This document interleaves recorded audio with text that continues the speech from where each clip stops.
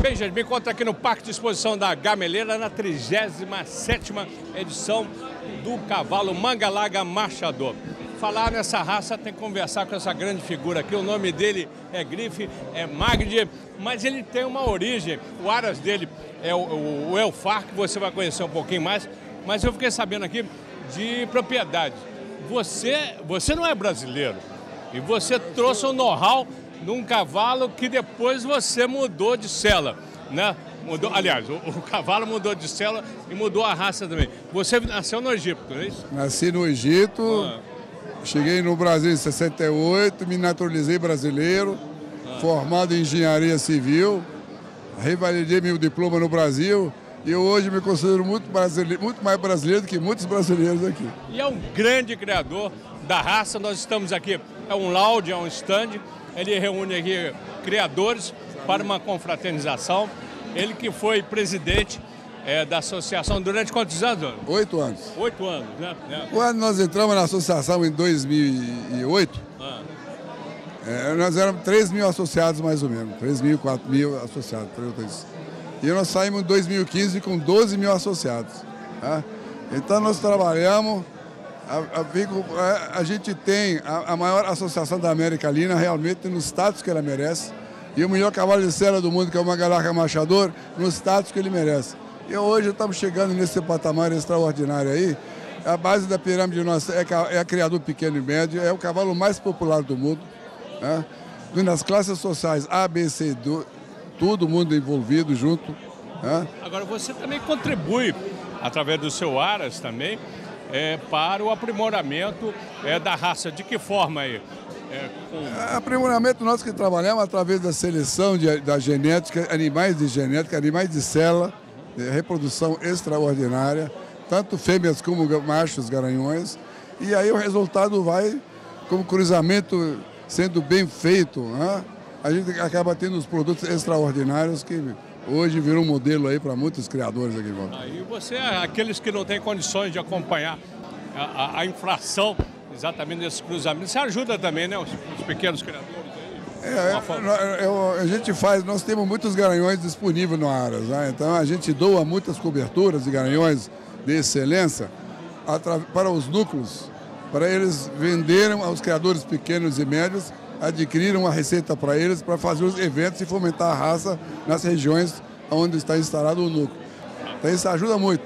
E hoje nós estamos emprestando nossos cavalos para os núcleos, né, para aproveitar esses cavalos, a genética que eles têm, para os criadores de cada núcleo aí, para vender para os criadores a preços acessíveis, exatamente para melhorar geneticamente a tropa dos criadores pequenos e médios que existem. Nós já fomos, já fomos lá vice-campeões com a Beija-Flor, no Carnaval Carioca.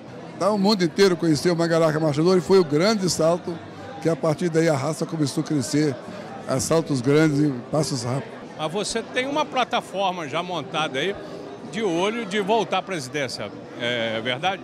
Pré-candidato já, oficialmente, já estamos trabalhando para essa candidatura se consolidar. E esse veio através dos amigos que pediram para voltar. Né? Pediram para voltar para a gente tentar colocar a raça sempre no patamar que ela merece. E a plataforma nossa vai ser baseada no suporte ao criador pequeno e médio, que, é sustenta, que sustenta essa associação como um todo, né? que são quase 98% dessa raça, o criador pequeno e médio, que são apaixonados, curtem o cavalo de uma forma impressionante. E obrigado por estar aqui presente nesse programa sensacional. Vamos fazer um brinde ali agora, porque não é só trabalho, não. Já está na hora. Prazerão. Obrigado, obrigado, obrigado. Valeu.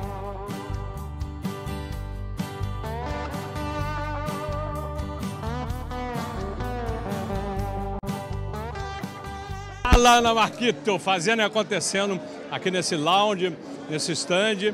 E paralelo a todo o trabalho da, da, da raça que você conhece é de perto, né? Aqui é um espaço, Paulinho, que a gente recebe os amigos de todo o Brasil. É um momento de confraternização, é um momento de reencontrar os amigos. Então a gente precisa de um espaço aconchegante para receber a todos e também um momento de fazer grandes negócios. Então essa arte de receber passa por você. São muitas emoções aí, como é que é? São muitas emoções. O Magdi foi presidente da BCCMM por oito anos, então fizemos grandes amigos e também o nosso criatório hoje é um dos maiores criatórios de Mangalaca Machador do Brasil. Repete o nome. É Arazelfar. Você tem na cabeça quantos, quantos animais? Não? Hoje nós temos aproximadamente 1.400 cavalos. Hoje estamos recebendo criadores de Recife, Salvador, São Paulo, é, de todos os cantos do Brasil. Isso é importante para nós uma família. isso por perto. Família. É uma grande família. Isso, mas só alegria hoje. Só alegria e é um prazer ter o programa Paulo Navarro aqui no meu espaço.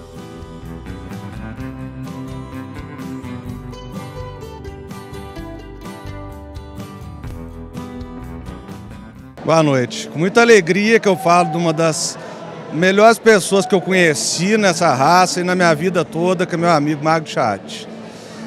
É, antes do Magdi, tudo era feito no papel, era, tudo era demorado, documentação demorava para chegar.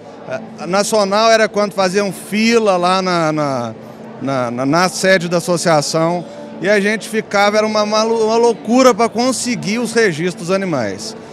O Magdi foi atrás de uma empresa grande, com vasta experiência e fez, cuidou dessa informatização do sistema da associação que acabou com qualquer possibilidade de fraude, facilitou o trabalho de todos nós criadores, do usuário de cavalo. E isso realmente, eu, hoje a gente não, eu vim para cá, não tive que ir na associação, não perdi tempo, não tem pendência, a gente realmente a vida do criador facilitou demais. Mais um dos não sei quantos trabalhos brilhantes que o Magno fez quando foi presidente. Eu espero te ver de novo lá ano que vem, Magno.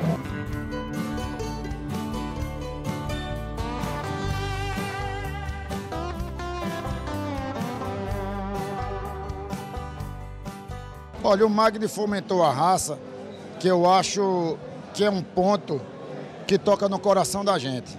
Quando toca no coração, a gente se emociona. E se emocionando é quando a gente ajuda as pessoas mais carentes. E para ajudar as pessoas mais carentes, é o Machadores pela Vida, que ajuda as pessoas em cada região do Brasil. Implementou esse projeto que a cada ano se faz um leilão, não só na capital do cavalo Manga Larga Machador, que é em Belo Horizonte, mas em todo o Brasil afora. E com isso, essa, essa receita é destinada às entidades carentes, câncer e várias doenças que são, são pertinentes né, da, da falta de assistência, da assistência pública, vamos dizer assim. E com isso, com esses Machadores pela Vida, foi uma coisa muito ímpar, vamos dizer assim, que fez com que nós criadores, que contribuímos anualmente é, para a Associação Brasileira e uma parte dessa contribuição vá para o Machadores pela Vida em prol à saúde, em prol a salvar vidas, vamos dizer assim. Essa é uma grande gratidão que eu tenho no Mag de Chat pela, pela benfeitoria, além de outros projetos que eu não vou me estender. Mas Mag de Chat está de parabéns.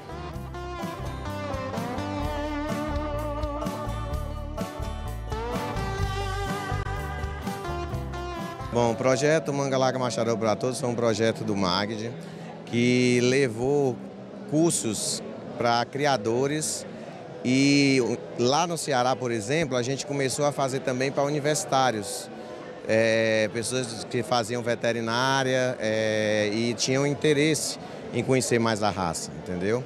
É um projeto muito importante porque às vezes você começa a criar e não sabe por, por, por onde começar. Tem criador que a maioria começa a comprar os cavalos. E na verdade o importante é você comprar uma terra, ter é, pasto, ter a estrutura física e depois é que a gente aprendeu no curso que entra os cavalos na história, né?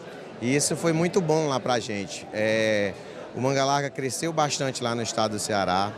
Na ocasião, eu era diretor da, da, do núcleo lá e a gente fez questão de levar vários cursos que a associação estava disponibilizando para a gente. Então foi muito bom, o Estado cresceu muito em relação ao número de criadores. E o Mag é isso, né? É o cara que é um apaixonado pela raça e que não mede esforços para fazer de tudo para a raça se expandir.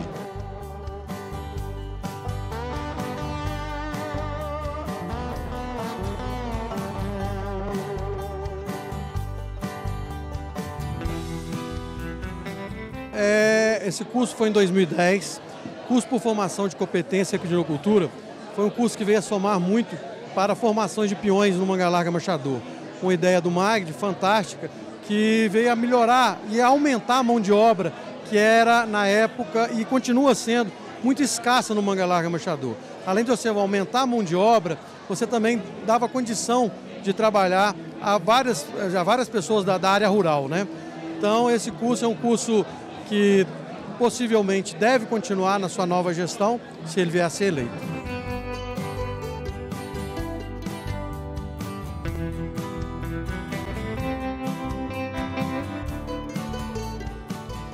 É, essa ligação de Vânia Braga, escultora, com Manga Larga Machador, me proporcionou, me proporcionou momentos incríveis. Fui convidada há mais de cinco anos atrás pela Ana Cristina Marquito para fazer a modelagem dos macacos, inclusive do Savage Stan, que foi campeão da raça do Magde, do Manga Larga. Então nós fizemos um laboratório, estudamos, fomos para a fazenda e após a, a passar do tempo, é, os cavalos é, é, caminhando, a, a, elegância do manga larga machador, tudo foi passando para a alma do artista. E saíram peças belíssimas e tudo muito, muito brilhante e significativo mim.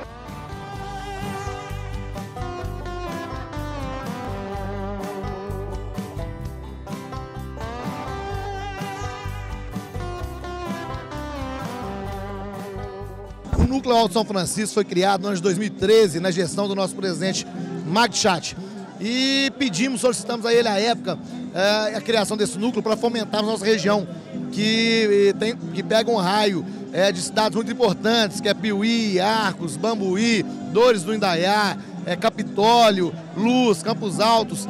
E conseguimos né, essa bênção né, do Magis presidente à época e conseguimos fomentar muito a nossa raça Mangalaga Machador na região onde hoje nós temos com mais 65 criadores, né, sócios do Núcleo Alto São Francisco. Né, o meu Aras é o TJ Bambuí, já crio já há 14 anos. E nós temos vários novos criadores na região, que de lá para cá, desde o núcleo para cá, é, nós triplicamos o número de criadores e realmente isso graças ao Mag Chat, que muito nos incentivou com a criação do Núcleo São Francisco. E com copas de marcha, com a, com a ajuda em vários projetos né, que lá é, fizemos para podermos é, é, fomentar a raça. Estamos agora tentando construir nossa sede, né, a sede própria do Núcleo São Francisco, né, e o próprio Mag também cedeu várias coberturas de seus cavalos do Aras Elfar.